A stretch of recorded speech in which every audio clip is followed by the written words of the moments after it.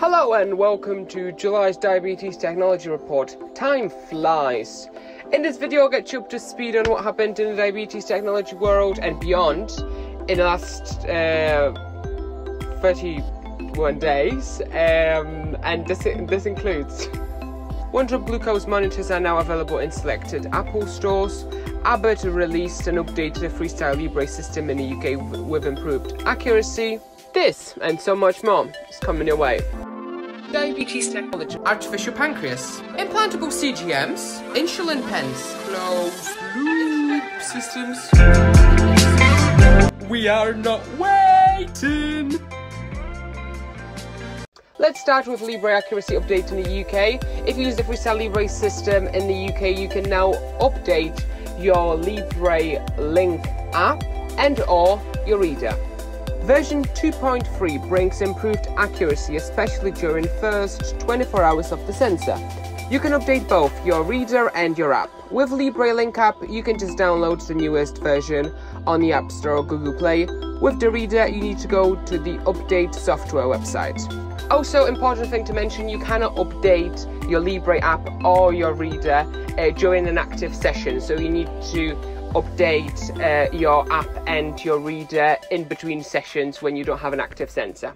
Now some uh, Apple Store uh, news. You can now buy the um, one drop blood glucose meter in the uh, Apple Store. It's currently available to purchase in selected Apple stores in the US and more places soon.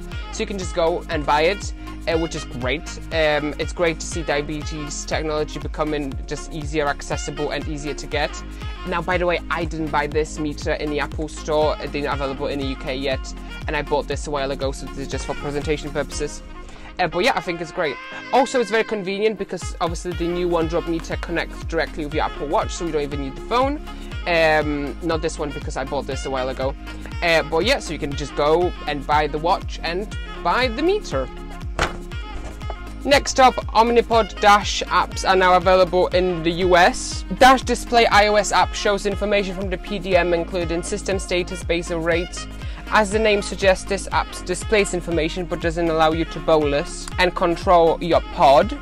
It includes a widget which displays insulin on board, PDM battery and the reservoir level. Second Omnipod Dash app Omnipod View allows parents and caregivers to access Podder's information such as alarms, reminders, reservoir level, insulin on board, and so on. As a podder myself, I am super excited, and in case you were wondering, the Omnipod Dash pod looks just like the current Omnipod. It just has Dash here, and this bit is blue, in case you were wondering. It's cute. And now just last quick update. Now this is nothing to do with technology, just diabetes related, but I think is super, super important. So that's why I want to talk about it. It's about um, glucagon. Now please don't consider this a medical advice or otherwise. If you want to know more about glucagon, please speak to your healthcare professional.